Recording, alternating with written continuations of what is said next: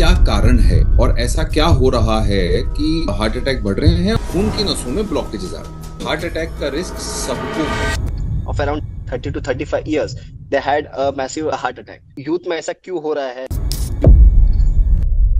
Heart attack के numbers जो young age में आ रहे हैं वो बढ़ते जा रहे हैं। हमारे आसपास, सभी के आसपास कोई ना कोई ऐसा पर्सन है जो बहुत रेगुलर स्मोक करता है, लेकिन फिर भी उसे हार्ट अटैक नहीं आ रहा। लेकिन ऐसे भी लोग सुने हुए हैं जो बहुत एक हेल्दी दिखने में हेल्दी थे। रादर कोई एक्सरसाइज करता था, कोई जिम जाता था, लेकिन उन्हें हार्ट अटैक हो गया। ये बातें जो आपने बचपन से या कई सालों से सुन रखी हैं कि कोलेस्ट्रॉल या मोटापा डायबिटीज़ स्मोकिंग यही हार्ट अटैक के मेन कारण है। But then if you check अगर हम मेडिकल रिसर्च भी देखें तो 70 परसेंट केसेस ऐसे हैं हार्ट अटैक के, जिनके केस में कोलेस्ट्रॉल लेवल एब्सोल्युटली नॉर्मल था। सो कोलेस्ट्रॉल मोटापा या स्मोकिंग अगर हम रिसर्च या आज के डेट में एविडेंस निकालने की देखें तो कोई भी एक सबसे बड़ा रीजन नहीं है जिसके वजह से हार्ट अटैक आता हो, या तो हम ना ही कोलेस्ट्रॉल को बोल सकते हैं, ना ही हम आपके जेनेटिक्स को बोल सकते हैं, ना ही आपके मोटापे या डायबिटीज़ को बोल सकते हैं। लेकिन कोरोना के बाद कोविड के बाद ये ज़रूर हो गया है कि किसी को भी कभी भी अटैक आने का रिस्क बढ़ जाता है। और किसी को भी बोलने का मतलब यह है कि यंग एज में भी बच्चों को भी खेलते कूदते डांस करते, आपने सुना होगा गरबा खेलते लोगों को अटैक आ रहा है। स्कूल में दौड़ते भागते, होली खेलते, कुछ करते हुए लोग गिर जा रहे हैं और मृत घोषित हो जा रहे हैं। सवाल खड़ा होता है कि ऐसा क्यों? तो इसी बेसिस पे आज हम बात करने वाले हैं कि ऐसे क्या कारण है और ऐसा क्या हो रहा है कि हार्ट अटैक बढ़ रहे हैं और हम एज अ पर्सन क्या कर सकते हैं कि हम अपने आप को इस तरीके के अटैक से बचाएँ। सबसे पहले देखो बेसिक तो सभी को पता है कि हार्ट अटैक जब भी होता है हार्ट की खून की नसों में ब्लॉकेजेस आ रहे हैं। और हार्ट के अंदर ब्लॉकेजेस हार्ट की तीन मेन नसें होती हैं। थ्री मेन नसेज और उसमें ब्लॉकेजेस आने की वजह से हार्ट के मसल को ब्लड सप्लाई नहीं जाता और वहाँ डैमेज होता है। अब लेट्स अंडरस्टैंड एक कोई कारण नहीं है multi multifactorial reason multi multifactorial reason में सबसे बड़ा रीजन एब्सोल्युटली आपकी रिस्क फैक्टर्स आता है। रिस्क फैक्टर क्या डिटरमाइन करते हैं कि आपका खतरा कितना बढ़ जाता है। हार्ट अटैक को हम एक्सीडेंट के साथ कंपेयर कर। गाड़ी का एक्सीडेंट होगा कि नहीं होगा, ये देखना या सोचना या डिटरमाइन करना पॉसिबल नहीं है कि ऐसा कोई इंसान ये बोल के चल नहीं सकता कि मेरा कभी एक्सीडेंट नहीं आपकी गलती से ना भी हो, दूसरी गलती से हो सकता सेम वे हार्ट अटैक आपका कभी नहीं होगा, ऐसा आप नहीं बोल सकते। लेकिन आपकी गलती हो सकती है। एक्सीडेंट होने में नंबर वन रीजन आपकी खुद की गलती होती है। यानी रैश ड्राइविंग हो गया, तेज चलाना हो गया, गाड़ी का ध्यान नहीं रखना हो गया, फलाना सेम वे अगर हम हार्ट अटैक की बात करें, इसमें रिस्क फैक्टर्स आ जाते जैसे ड्राइविंग में तेज ड्राइविंग रैश ड्राइविंग या एक ड्रंक ड्राइविंग एक बड़ा रिस्क फैक्टर है कि हाँ भाई, इसका तो एक्सीडेंट होने का रिस्क है। मतलब ये ज़रूरी नहीं है कि कोई ड्रंक ड्राइविंग कर रहा तो एक्सीडेंट हो ही जाएगा सौ परसेंट। सेम वे ऐसा ज़रूरी नहीं है कि कोई स्मोकिंग कर रहा तो हार्ट अटैक हो ही जाएगा। लेकिन स्मोकिंग सिगरेट बीड़ी, तंबाकू, ये बहुत बड़ा रीजन है, जिससे कि आपका रिस्क बहुत ज़्यादा दस गुना बढ़ जाता है। ये मान के वैसे यही कई सारे नोन रीजन है। यानी कि अगर आपकी सबसे बड़ा एक रीजन जो आज के डेट में है, बुरी लाइफस्टाइल खान पीन आपका बहुत एक्सेस है। मोटा मोटा सोचे चलिए, अगर आपके घर के अंदर सामान ही ज़्यादा है, तभी एक जगह पे क्लटर होगा। तभी इकट्ठा होगा कि यार ये क्या है? अगर आपके आपके कबर्ड में कपड़े ज़्यादा है, तभी वो एक दूसरे के ऊपर अजीब गरीब तरीके से पड़े होंगे। सेम वे अगर आपकी बॉडी के अंदर बहुत ज़्यादा मात्रा में फैट स्टोर्ड है अगर फैट बहुत ज़्यादा स्टोर्ड है, तभी चांसेस बढ़ जाएँगे कि आपकी बॉडी के अंदर डिपॉजिट्स भी बहुत ज़्यादा है इधर उधर कोलेस्ट्रॉल के डिपॉजिट या जो हम प्लाक सो एक अनहेल्दी शरीर रिस्क बढ़ा देता है हार्ट अटैक का। ये आप भी, हम भी भली भली भांति जानते हैं। सब आराम से वी अंडरस्टैंड बट वो अनहेल्दी शरीर पे ध्यान देने की जगह हम ध्यान देते हैं कमाई पे। पैसे कि भाई हमें एक शिफ्ट और मिल जाती है, बारह घंटे की शिफ्ट मिल जाती है स्ट्रेस मिल जाता है नाइट शिफ्ट मिल जाती है, थोड़ा पैसा एक्स्ट्रा मिल जाता है। और एक एज तक हमारी बॉडी उससे लड़ती रहती है। सबसे बड़ा रीजन जो आता है, ये आता है अपने आप को इग्नोर करना। ये बड़ा रीजन है। नॉट लाइक मोटापा ही है। ऑब्वियसली ओवरवेट होना, मोटापा होना इनएक्टिव होना एक्सरसाइज नहीं करना, ये सब चीज़ें बदली जा सकती स्मोकिंग रोकी जा सकती राइट अगर हम बुरी तरह ड्राइव करते हैं तो ड्राइविंग सही की जा सकती सो देर आर थिंग्स जो आपके हाथ में है। There are things which are not in your control जैसे कोविड आया। कोरोना के बाद वो अपने आप में एक वायरस था जो शरीर के अंदर क्लॉटिंग बढ़ाता था। Hyper coagulable state hyper coagulable state की वजह से उस दौरान कई लोग लंग के खराब हो जाने की वजह से जान खो बैठे थे। कई लोगों को अलग अलग जगह पे क्लॉट्स आए क्योंकि वो इन्फ्लामेशन करता था। वो खून की नसों में के ऑर्गन्स में इन्फ्लामेशन करता है। खून की नसों में इन्फ्लामेशन होता है तो वहाँ पर वो इन्फ्लामेशन हील होने में डैमेज होके वहाँ पे प्लाक जमा होता है कोलेस्ट्रॉल जमा होता है। वो बॉडी का आपका एक हीलिंग मैकेनिज्म है। जहाँ भी डैमेज होगा, आपके जहाँ भी स्क्रैच लगेगा, वहाँ पे खून का क्लॉट बनता ही है। बाहर भी बनता है अंदर भी बनता है। सो so, प्रॉब्लम ये नहीं है कि खून का क्लॉट नहीं बनना चाहिए। प्रॉब्लम ये है कि डैमेज हो रहा है। प्रॉब्लम ये है कि वो डैमेज हील नहीं हो रहा है डैमेज पे डैमेज हो रहा है। जस्ट लाइक अगर कोई हाथ में उससे छीलता जा रहा है उसको डैमेज होता जा रहा है। एक बार छिलके वो दो महीने बाद देखोगे तो बिल्कुल नया जैसा हो जाएगा। मगर वहीं पर बार बार इंजरी हो रही है या हाथों में उसके लगता जा रहा है तो उसके हाथ ओवर टाइम खराब हो जाएँगे या अजीब दिखेंगे। तो यही चीज़ आपकी बॉडी के अंदर होती है। थोड़ी बहुत बीच बीच में इंजरीज बॉडी झेल सकती है, चाहे वो आपकी लाइफस्टाइल की वजह से हो स्मोकिंग की वजह से हो कोरोना की वजह से हो। और आपकी बॉडी लगातार हील होती जाती है, लगातार बीच बीच में डैमेज होती है। तो ये तालमेल रखना कि इंजरी कितनी हो रही है डैमेज कितना हो रहा है और हीलिंग कितनी हो रही है, ये आपकी लाइफस्टाइल पे डिपेंड करता है। ये डिपेंड करता है आपकी डाइट पे ये डिपेंड करता है आपके रेस्ट पे। क्या आप पूरा दिन जद्दोजहद में लगे रहते हो? ये भी काम करना है, वो भी काम करना है, ये भी रह गया, वो भी रह गया, ये फ़ोन वो कॉल्स यहाँ दौड़ना, वहाँ दौड़ना, बच्चों के लिए, बड़ों के लिए, किसी के घर में कोई बीमार है, किसी के घर में छोटे बच्चे हैं, किसी के लिए नौकरी मुश्किल से हो रही है जॉब पसंद नहीं, किसी के लिए दो दो नौकरियाँ चल रही हैं। So a lot of variables are there everybody is stressed तो एक बड़ा रीजन है, ठहराव नहीं होना रेस्ट नहीं मिलना रिलैक्सेशन टेक्निक रिलैक्सेशन नहीं मिलना, जिससे हीलिंग नहीं होती। अच्छी नींद नहीं मिलना। हीलिंग नहीं होगी तो छोटी छोटी इंजरी कंपाइल होगी। आपकी खून की नसों में, आपकी बॉडी में, आपके लिवर में सब जगह सो बड़ा कारण क्या है? Chronic intermittent injury and no rest या प्रॉपर हीलिंग नहीं होना। अब जब हीलिंग की बात करते हैं तो क्या सिर्फ़ रेस्ट से हो जाएगा? क्या सिर्फ़ सो जाने से हो जाएगा? क्या छुट्टी लेने से हो जाएगा? या एक बार टूर वेकेशन पे जाने से हो जाएगा? नहीं। आप अगर किसी प्रेग्नेंट लेडी को देखेंगे तो प्रेगनेंसी के बाद उनका हेयर लॉस होता है। बिकॉज़ बॉडी एक स्ट्रेस से गुजरती है। एक बड़े stress it's a stressful phase pregnancy delivery उसके बाद हेयर लॉस होता है। और हर एक ऑपरेशन के बाद या हर इंजरी के बाद, हर बड़े इवेंट के बाद आपका हेयर लॉस होता है, जिसे हम नेचुरल हेयर लॉस जिसे टिलोजन एफ्लूवियम कहते हैं। बिकॉज़ बॉडी जो है, वो उस मेजर पार्ट को बनाना प्रेफर करती है, जो ऑर्गन आपके लिए रिक्वायर्ड है। रेदर देन ये वेस्टिजियल ऑर्गन जो हेयर हो गया, ये हो गए नेल्स हो गए तो उनकी ग्रोथ उस समय रुक जाती है। दैट डजेंट मीन की ज़िंदगी भर रुक जाएगी। वो कुछ महीनों बाद, दिनों बाद नहीं सेकंड्स बाद नहीं। कुछ महीनों के बाद आपको दिखाई देता है कि छह महीने तक, आठ महीने तक, साल भर के अंदर पूरे बाल वापस आ गए हीलिंग हो गई वापस रिकवरी हो गई सेम वे आपकी बॉडी भी वैसी काम करती है। कोरोना का इन्फेक्शन आपको हुआ था, बहुत सीरियस हुआ। तो दैट डजेंट मीन कि आप ज़िंदगी भर आपको हार्ट अटैक का रिस्क रहेगा ही। दैट डिपेंड्स कि आपकी बॉडी को रिकवरी का टाइम चाहिए। उसको रिकवरी के रॉ मटेरियल चाहिए।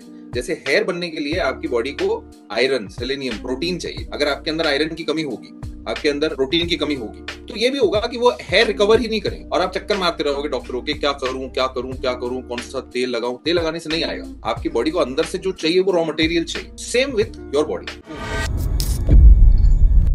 you have to understand one basic concept हमारी बॉडी में जाने वाले खाने पीने की चीज़ों में food products, they have just three ingredients. Number one is source of energy, carbohydrate. Carbohydrate is the source of energy. आपका हर सेल आपकी बॉडी का कार्बोहाइड्रेट से चलता है। वो पेट्रोल है आपका एनर्जी है आपको। वो मिलती है तो एनर्जी मिलती है। वो खत्म हो जाता है तो थक जाता है। उसका एक लिमिटेड सोर्स है, आपकी बॉडी थोड़ा बहुत स्टोर करती है लिवर के अंदर मसल के अंदर ग्लाइकोजन के हिसाब से। बहुत ज़्यादा खाते हो तो उसका एक लॉन्ग टर्म स्टोरेज जैसे बैंक डिपॉजिट पैसा होता है, एक होता है हमारे जेब में, यानी कि हमारे खून के अंदर जो ग्लूकोज है, वो हमारे जेब में पैसा है। तुरंत अवेलेबल है, हाथ डाला, निकाल लिया। दूसरा, हमारे घर में, घर के अंदर जो पैसा है, वो हमारे लिवर के अंदर ग्लाइकोजन है, हमारे मसल के अंदर ग्लाइकोजन है, आसानी से हम निकाल सकते हैं। और तीसरा पैसा होता है जो हम बैंक डिपॉजिट करते हैं, वो है हमारा फैट सेल जब एक्सेस बॉडी में कार्ब्स कार्बोहाइड्रेट ग्लूकोज जाता है, हम बहुत ज़्यादा खाते हैं, इतना खाते हैं कि हमारी बॉडी को उतनी नीड नहीं है तो वो एक्स्ट्रा कार्बोहाइड्रेट या इवन एक्स्ट्रा फैट हमारी बॉडी स्टोर करती है बैंक में डिपॉजिट करती है और हमारी चर्बी बढ़ती जाती है हमारा वज़न बढ़ता जाता है हमारा पेट बाहर निकलता है, हमारे साइड निकलते हैं, हमारा गला मोटा होता है, हमारे हाथ पैर मोटे होते हैं। शरीर इन चीज़ों से नहीं बनता, शरीर कार्बोहाइड्रेट से नहीं रिकवर करता, वो सिर्फ़ एनर्जी के लिए, शरीर फैट से रिकवर नहीं करता।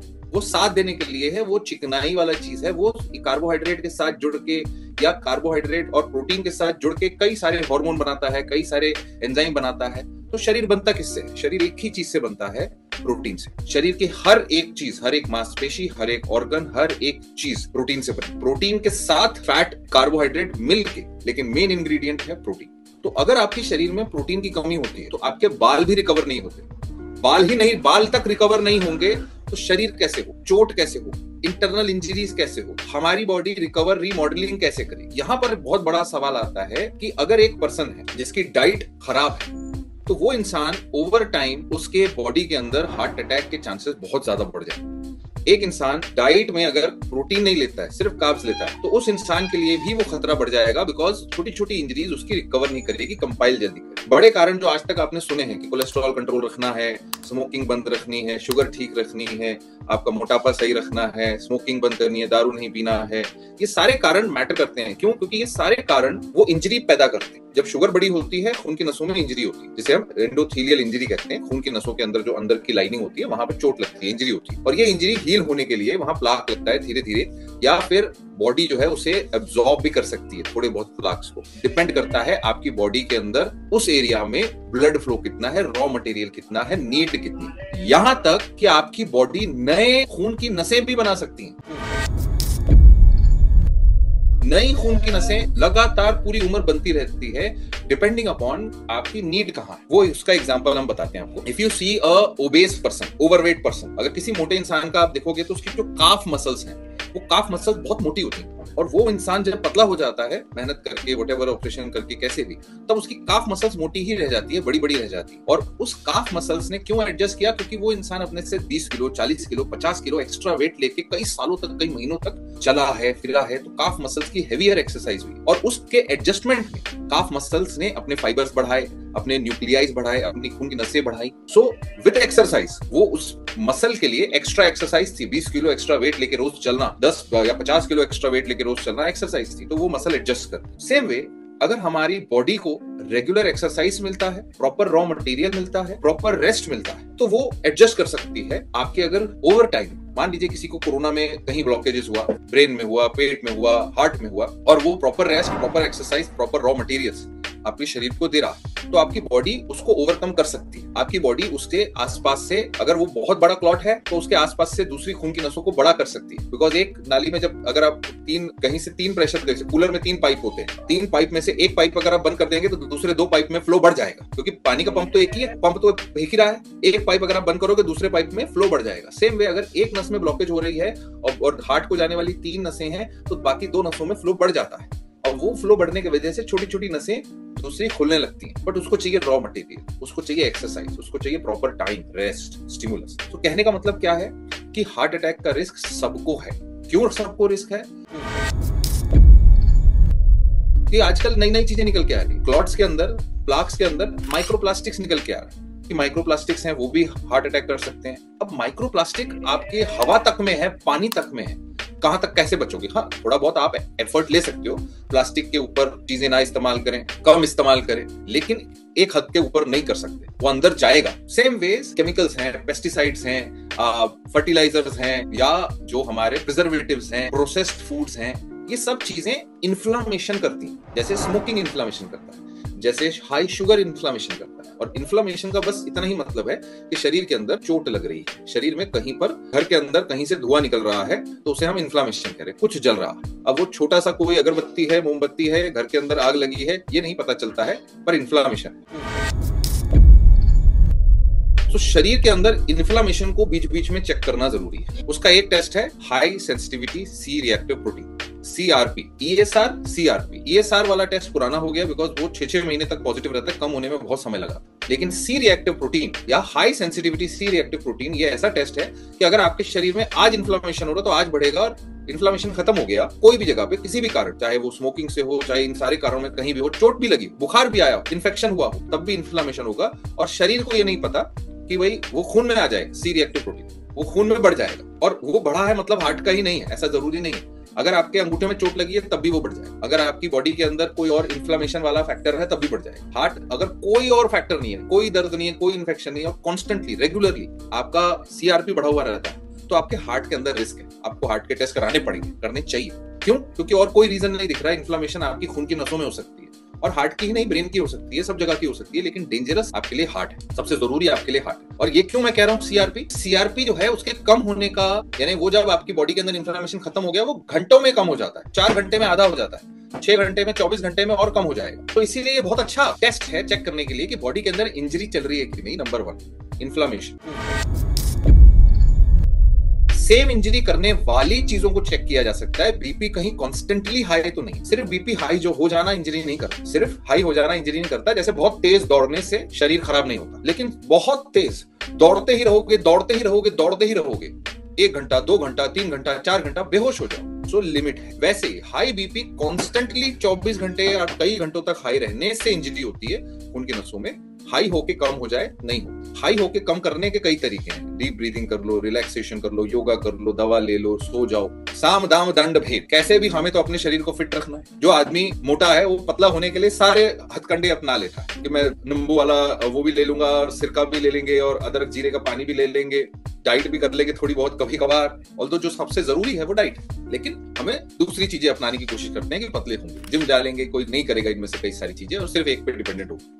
अब ये सोच के देखिए, इतनी मल्टी फैक्टोरियल इतने सारे फैक्टर्स और इतनी सारी चीज़ें इन्वॉल्व होती है जब। तो सिर्फ़ जैसे बाल हैं, बाल अगर प्रोटीन की कमी आयरन की कमी है तो केवल किसी भी प्रकार के तेल दवाई से या तेल दवाई लगा लेने से बाल नहीं आएँगे, आ ही नहीं सकते बिकॉज़ रॉ मटेरियल ही नहीं। सेम वे अगर आपकी बॉडी में इंटरनली कुछ प्रॉब्लम्स हैं, आपकी लाइफस्टाइल सही नहीं है, आपकी नींद सही नहीं है, आप बहुत हाई स्ट्रेसफुल लाइफ लेते हैं तो वो चीज़ करेक्ट करे बगैर आप अपना खतरा कम नहीं कर सकते। आज के डेट में स्ट्रेस एक बहुत बड़ा रीजन बन के आ रहा है, जो आगे चल के और बड़ा रीजन बनता जाएगा स्ट्रेस एक बहुत बड़ा रीजन है हार्ट अटैक का या किसी भी प्रकार की बीमारी के लिए आपकी सेंसिटिविटी तो आपको स्ट्रेस को एड्रेस करना बहुत ज़रूरी है। आपको देखना बहुत ज़रूरी है कि आपकी बॉडी रिलैक्स्ड फील हो रही है कि नहीं हो रही। मुझे शांत नहीं लग रहा, मुझे रिलैक्स नहीं लग रहा, मुझे नींद नहीं आ रही, मेरे को रात को सोने के बाद, सुबह उठने के बाद लग रहा है कि ऑफ़िस नहीं जाऊँ अनईजी लग रहा है देर इज़ एन इशू आपको टेस्ट कराने चाहिए। कहीं आपके अंदर कोई कमी तो नहीं। क्योंकि कमी जो है that is an easy fix अगर आपके अंदर कोई डेफिशिएंसी है, आपके अंदर पानी की कमी हो सकती है डिहाइड्रेशन पानी पिया अच्छा लग गया कई लोग होते हैं जो बहुत ज़्यादा स्ट्रिक्ट डाइटिंग करते हैं। ग्लूकोज की कमी हो सकती है। शुगर लिया ग्लूकोज लिया अच्छा लग गया। कई लोग बहुत ज़्यादा स्ट्रिक्ट कार्निवोर डाइट पे चले जाते हैं। ये सोच के कि उससे सब ठीक हो जाएगा। नहीं। अगर आप अपनी बॉडी की ज़िम्मेदारी लेना चाहते हैं कि मुझे हार्ट अटैक नहीं होना चाहिए तो आप खुद नहीं कर सकते। आपको एक डॉक्टर की, एक प्रोफेशनल की हेल्प लेनी चाहिए, जो आप पे समय दे। Because it's very important to understand कि इतने सारे फैक्टर्स हैं और आपके केस में सबसे बड़ा कॉन्ट्रीब्यूटिंग फैक्टर कौन सा? है ये देखना क्या आपका कोलेस्ट्रॉल ट्राइग्लिसराइड बहुत हाई क्या आपके अंदर सीआरपी बढ़ा हुआ है? क्या आपके अंदर कोई डेफिशिएंसी है? आपकी नींद सही नहीं है, आपकी धड़कन बड़ी तो नहीं रहती, आपका बीपी बढ़ा तो नहीं रहता, आपका शुगर बढ़ा तो नहीं है। आपकी बॉडी के अंदर कहाँ प्रॉब्लम अब हमने, अभी तक तो हमने बीमारियों की बात ही नहीं की। इस सब के ऊपर आप ऐड करिए, किसी को ऑलरेडी लिवर की बीमारी है, किसी को किडनी की बीमारी है, किसी को लंग्स खराब है, किसी को सीओपीडी है, किसी को टीबी हुआ था, उसके बड़ी खतरनाक टीबी की बीमारी चल रही है। तो उन सब के अंदर ऐसा नहीं है कि शरीर ये नहीं बोलता है कि आपको एक बड़ी बीमारी है तो मैं दूसरा नहीं होने दूँगा। हार्ट की बीमारी सबको आती जाती रहती है। ये एक एजिंग प्रोसेस है। ये उम्र के साथ आता है। क्योंकि आपके शरीर के अंदर स्किन के सेल चमड़ी के सेल रिकवर होते रहते हैं, नए बनते रहते हैं। इसीलिए बच, हर 21 दिन में 28 दिन में आपका हर एक स्किन का जो सेल है वो चेंज हो जाता है, नया आ जाता है, नया आ जाता है। इसीलिए आपके दाग धब्बे स्कार धीरे धीरे कम हो जाते हैं, आपके कोई पिंपल के कोई दाग होते हैं वो कम हो जाते हैं थोड़े थोड़े करके। उम्र के साथ अगर आप ध्यान रख रहे हो स्किन का, अगर आप एक्सफोलिएट कर रहे हैं एक्सफोलिएशन से ही आपका सही दिखने लग जाता है। लेकिन एक एज के बाद ये रिकवरी नहीं होती। आपकी ही जो स्किन है, वो वापस से हील होना, वापस से नया बनना बंद हो जाती है, तभी आपको रिंकल्स आते हैं। उसी को हम एजिंग बोलते हैं। तो यही काम फिर एक उम्र के बाद आपकी खून की नसों में, आपके हार्ट के अंदर, आपके लंग्स के अंदर लिवर के अंदर भी होता है कि वो रोज़मर्रा की जो इंजरीज जो जवानी से बचपन से हो रही थी वो रिकवर होनी या वो रिपेयर होनी और स्लो होती जाती। इसीलिए बुज़ुर्ग बुज़ुर्ग होने के बाद, एक उम्र होने के बाद हार्ट अटैक के या वो बीमारियों के चांसेस बढ़ते जाते हैं और क्योंकि हम इस तरीके के इन्वायरमेंट में रह रहे हैं जो इंजरी करने वाले इन्फ्लामेशन करने वाले डैमेज करने वाली चीज़ें आपके आसपास ही हैं। आप हवा के अंदर पोल्यूशन से नहीं बच सकते। आप अपने घर के अंदर आने वाले क्वालिटी इवन एक एक छोटी छोटी चीज़ जिसके अंदर आपको लगता होगा कि हाँ ये प्योर है, लेकिन नहीं हो। सब्ज़ियाँ आप, हरी सब्ज़ियाँ खा रहे हैं, उसमें कलर चढ़ा हो, उसके अंदर कोई और केमिकल डाला हो, हर चीज़ आपके कंट्रोल में नहीं है। लेकिन वो एक इंजरी है आपकी बॉडी के लिए माइक्रो इंजरी आपकी बॉडी को रिकवर करने के लिए रेस्ट आपके हाथ में, आपके लाइफ आपके हाथ में एक्सरसाइज आपके हाथ में। आप कहोगे, कुछ लोगों को तो जिम में ही हार्ट अटैक आया, कुछ लोगों को तो एक्सरसाइज करते ही हुआ। जैसे मैंने कहा, दौड़ना अच्छी बात है। पर कितने देर तक? बहुत लंबे समय तक नहीं। तो अपने शरीर की लिमिट्स को पहचानना और उसे बहुत ज़्यादा मात्रा में, लिमिट से आगे पुश नहीं करना, ये भी इंपॉर्टेंट तो स्लो स्टडी जैसे डाइटिंग भी करोगे तो धीरे धीरे करोगे, बेहतर रहेगा। जल्दी जल्दी करोगे वेट लॉस करने की कोशिश तो और ज़्यादा बीमार हो जाओगे, कमज़ोर हो जाओगे, काम नहीं कर पाओगे। सेम वे अगर एक्सरसाइज भी करोगे तो धीरे धीरे धीरे धीरे अपनी क्षमता बढ़ाओगे तो अच्छा रहेगा। बहुत जल्दी, बहुत ज़्यादा कुछ अचीव करने जाओगे तो दिक्कत आएगी। सो हार्ट अटैक क्यों बढ़ रहे हैं? क्योंकि बहुत सारे फैक्टर्स आ गए हैं जो आपके शरीर के अंदर इंजरीज कर रहे हैं इन्फ्लामेशन कर रहे हैं। और हम एज अ सोसाइटी कंपटीशन को इतना बढ़ा दिया है, जीने के लिए लोगों को कमाई इतनी करनी पड़ रही है स्टैंडर्ड इतने बढ़ गए हैं कि कहीं पे भी रिलैक्सेशन नहीं है, कहीं भी शांति नहीं है, कहीं किसी को भी आराम नहीं मिल रहा है। और लोग आराम के बारे में कम और दूसरी चीज़ों के बारे में ज़्यादा सोच रहे हैं। और स्ट्रेस आपको चाहे न्यूज़ से मिलता हो, चाहे चैनल से मिलता हो, चाहे ऑफ़िस में मिलता हो, चाहे घर पे मिलता हो, हमारी बॉडी के लिए स्ट्रेस एक बराबर है। तो आपको वो स्ट्रेस को काउंटर करने के लिए रिलैक्सेशन टेक्निक्स का इस्तेमाल करना चाहिए। चाहे उसके लिए आप रिलैक्स करने के लिए योगा करो, छुट्टी पे जाओ आप वीकेंड पे आप कुछ दोस्तों के साथ जाओ, जो आपकी बॉडी को रिलैक्स करे। और सबसे बड़ा पॉइंट जो गलती 90 परसेंट लोग करते हैं, वो है उनकी डाइट हम सारे लोग डाइट के बारे में अपने कभी सोचते नहीं। हम तो अच्छा खा रहे हैं बेसिक खा रहे हैं, घर का खाना खा रहे हैं सिंपल दाल रोटी सब्ज़ी खा रहे हैं। हमें क्यों खराब, हमें क्यों बीमारी हो रही है? हमारी रिकवरी क्यों नहीं हो रही? क्योंकि आज के डेट में हमारी फ़िज़िकल एक्टिविटी उतनी नहीं रह गई कि हम चार चार आठ आठ रोटियों को पचाएँ। जब होता था तो लोग इतनी इतनी रोटियाँ खाते थे, दिन में दो दो तीन तीन टाइम और खूब सारा चलते थे। तो रोटियों में इतनी इतनी में जो ज़्यादा कार्बोहाइड्रेट होता था, उसको वो यूज़ कर लेते थे। और जो थोड़ा सा प्रोटीन होता था वो काम आ जाता। तो क्योंकि उनकी डाइट ज़्यादा थी तो इसलिए उनकी और एक्सरसाइज ज़्यादा थी तो इसलिए अल्टीमेटली उनकी बॉडी के अंदर जो कैलोरीज जाती थी, वो सही हो जाती थी, जो प्रोटीन जाता था वो सही हो जाता था। आज के डेट में हमें रोटियाँ की क्वालिटी कम, ब्रेड हो गए हैं, बन हो गया है बड़ा पाव हो गया है, हम खा रहे हैं, उल्टी चीज़ें चीज़ें क्वांटिटी कम है, बिल्कुल कम है पहले के मुकाबले, लेकिन क्वालिटी भी कम है और उसके अंदर प्रोटीन ना के बराबर प्रोटीन ही नहीं है। हमारी 90 परसेंट लोगों के अंदर इंडिया के अंदर प्रोटीन डेफिशिएंसी बिकॉज़ उनके अंदर रिकवरी के लिए प्रोटीन नहीं है। मसल को रिकवर करने के लिए प्रोटीन नहीं है ऑर्गन्स को रिकवर करने के लिए प्रोटीन नहीं है। तो आपको अपनी डाइट में प्रोटीन देखना है भी कि नहीं? खासकर अगर आप वेजिटेरियन या वीगन प्रोटीन पानी rest B twelve iron calcium और विटामिन डी, ये सबसे कॉमन कमियाँ हैं। अगर आपके शरीर में कमी है तो वो कैसे लड़ेगा तीसरी चीज़ से? वो कैसे अपने आप को बेहतर बनाए? तो ये कमी लेके लोग जी रहे हैं, कई महीने, कई हफ़्ते, कई कई साल तक।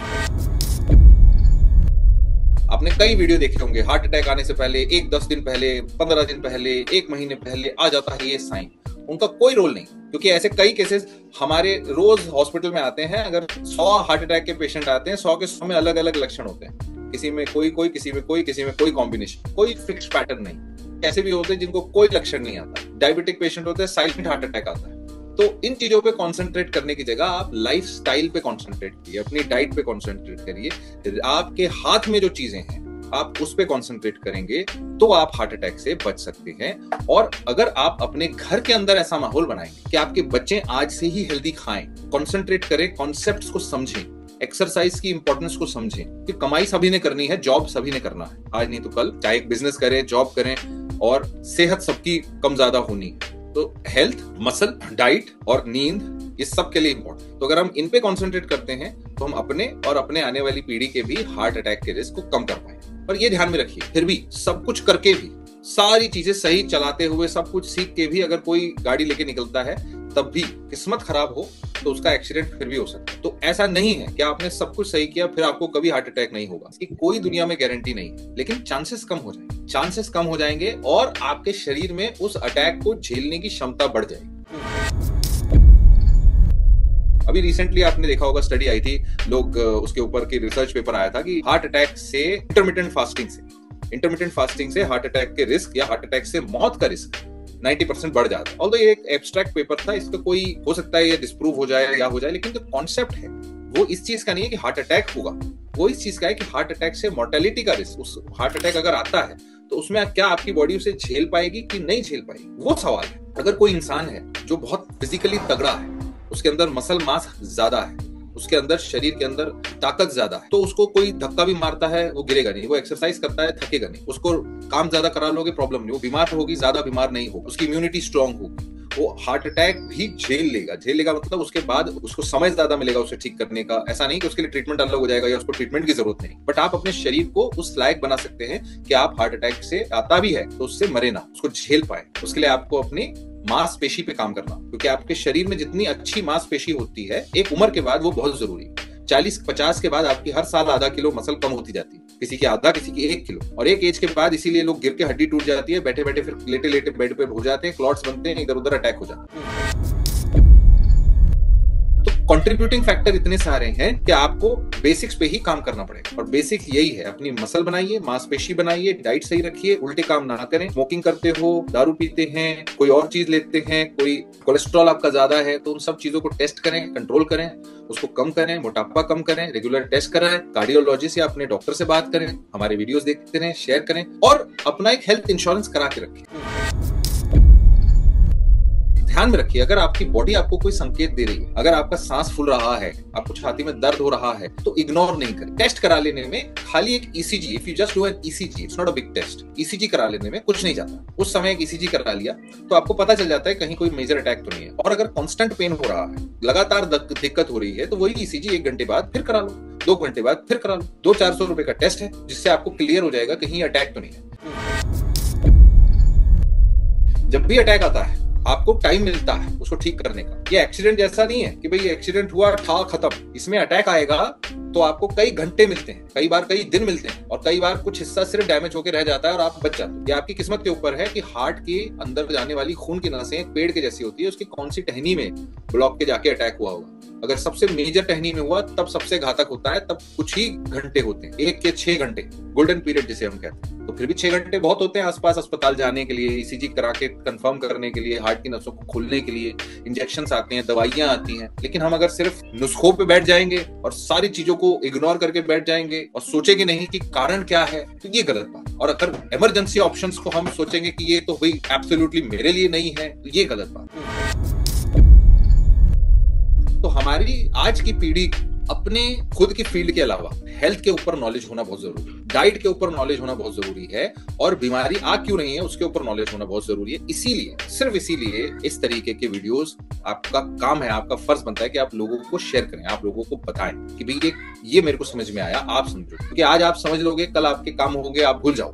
आपको ऐसी चीज़ें रेगुलर देखनी चाहिए, समझनी चाहिए। और एक अच्छा फैमिली डॉक्टर भी फैमिली फिजिशियन आपके पास होना चाहिए, जो छोटी छोटी चीज़ों का आपका ध्यान रखे। क्योंकि आपकी टेस्ट कराना भी भूल जाते हो आप। वो तो दूर की बात है कि टेस्ट में गड़बड़ आई उसे ठीक करना सो so, अगर आपको ये बातें समझ आई है तो ज़रूर मैं चाहूँगा कि आप लोग घर जाके एक बार ये सारे कॉन्सेप्ट अपने घर वालों को भी बताएँ या अपने फ्रेंड्स को बताएँ। क्यों बताएँ? क्योंकि आपको एक बार बताओगे ना तो आपको याद हो जाएगी। आपको याद रहेगी। सबसे बड़ी बात हो जाएगी से ज़्यादा याद रहेगी। मैं चाहता हूँ आपको याद रहे कि आपके आसपास इन्फ्लामेटरी फैक्टर्स हैं इंजरी करने वाली चीज़ें हैं और आपकी बॉडी को हील करने के लिए रॉ मटेरियल और रेस्ट और एक्सरसाइज चाहिए। ये तीन ही बेसिक चीज़ें डाइट अगर आप सही रखें एक्सरसाइज सही करें प्रॉपर रेस्ट लें। तो आपकी हेल्थ भी अच्छी होगी, आपकी इम्यूनिटी भी अच्छी होगी, आपकी लाइफ भी लंबी होगी।